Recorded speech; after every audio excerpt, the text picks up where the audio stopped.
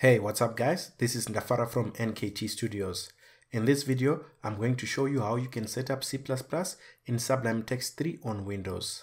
This video assumes that you already have Sublime Text 3 installed. If not, check out the link in the description below on how to do that. We are going to do this process in three steps which are firstly, install the C++ compiler. Secondly, set up the environment variables to the compiler. And lastly, configure Sublime Text 3 to compile C++ programs. The first thing that we need to do is to install a C++ compiler. On Windows, there are usually two options, Cygwin and MinGW. We're going to go with MinGW. So just go to the MinGW website, which is www.mingw.org to download the installer. So in my browser, I just type www.mingw.org and then when it opens up, just navigate here to where it says downloads and click it.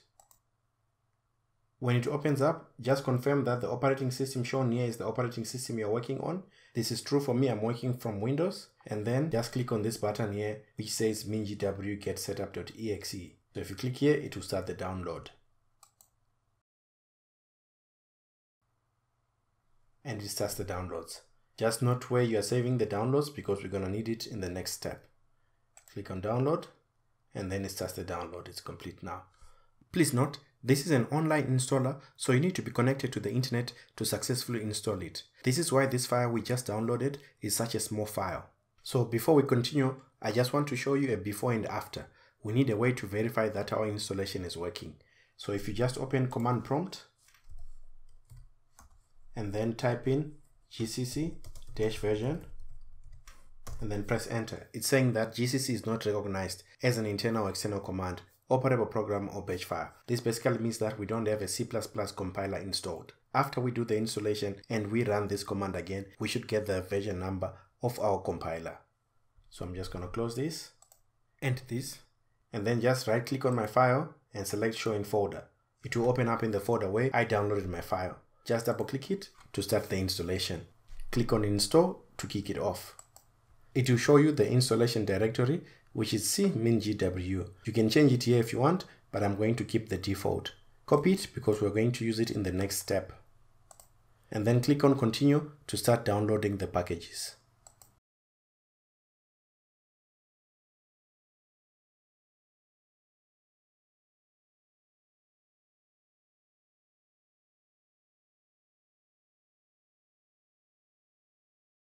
After it is done downloading the various packages, click on continue. It will show a pop-up window where you have to select the packages you want to install. So we want to select the packages except the ones for ADA and Fortran. So just right click on a package and click mark for installation.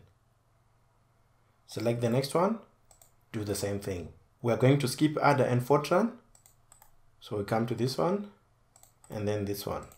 After that, click on installation and then apply changes and then click on apply.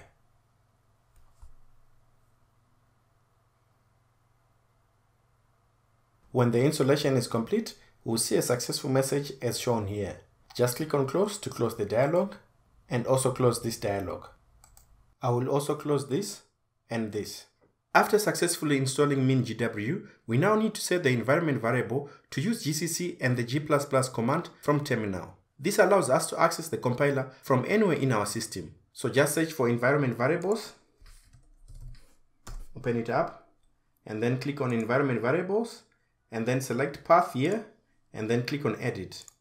And then click on new, and then paste in the path that we copied in the last section, and then put in backslash bin. Click on OK to persist the changes and close the dialogues. So OK there, OK there, and then OK here. To verify that this setup worked, just open up the command prompt and then type in gcc dash dash version. We should get the version number back if our setup was successful. As you can see, we got the version number back, which means that we successfully set up our environment variable. Let me just close this. The last thing that we need to do is to configure Sublime Text to use our C++ compiler. We do that by creating a build system. So just open up your Sublime Text, go to Tools, Build System, and then click on new build system. Delete this default code and then paste this one. You'll find this code in the description below. Press Ctrl S to save and then we're going to call this CPP. Click on Save to save it. With that, we are ready to compile a C++ program. So I'm just going to close this and open a C++ file that I want to compile. My file is at f demos C++ hello C++. And then you need to go to Tools, Build System and select CPP, the one we just created. And then to run this file, you just press Ctrl Shift B. As you can see from the output pane, we managed to successfully use C++ in Sublime Text 3 to compile and run this C++ program. Just a side note, this configuration will not work for C++ programs that take in standard input. In the next video, I will show you how to set up Sublime Text to compile C++ programs that take in standard input. Thank you for watching and I'll catch you in the next one.